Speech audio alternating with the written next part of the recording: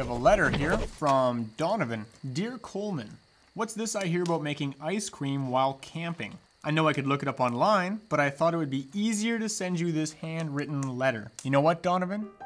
It is possible to make ice cream while camping. You take a whole bunch of ingredients and you mix them into some kind of a sealable container, and then you put that container inside of a bigger container, which you then fill with ice and rock salt. But here's the most critical. Here's the most critical part. You now have to keep the jug moving.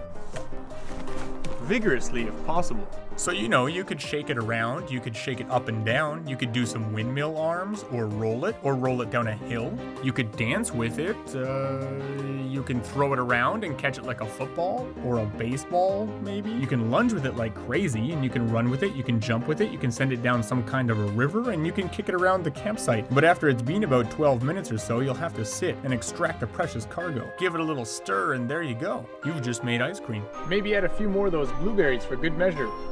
Yeah. Hey, you guys want some ice cream? We're lactose intolerant. Really? Well, hopefully that clears things up for you, Donovan. Thanks again for writing.